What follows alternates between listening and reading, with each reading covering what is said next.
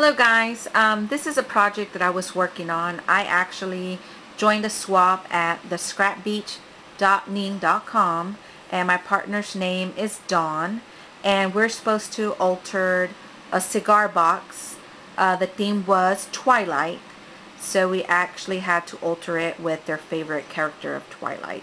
So my partner's favorite character is Edward Cullen. So here I have a picture of Edward Cullen with some acetate frame with some musical notes all around the frame. I used some Prima Bling. Um, these flowers that I made by using the Tim Holtz um, Tattered Flower die and some more Prima Bling here.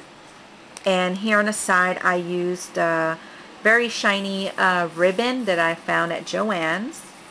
Um, it's black, it's real pretty and some red um, bling there and some pearls.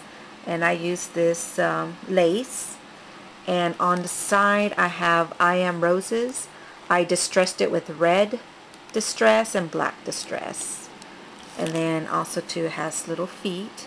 Um, we're supposed to fill it up with some goodies. Um, and here inside is another picture of Edward there with some stickles on a heart and there's all her goodies in there. Um, the paper that I used on this um, box was DCWV, the Immortal Love Stack.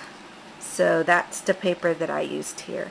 So I'm hoping that my partner would like her um, cigar box. Um, please leave me a comment. Thank you.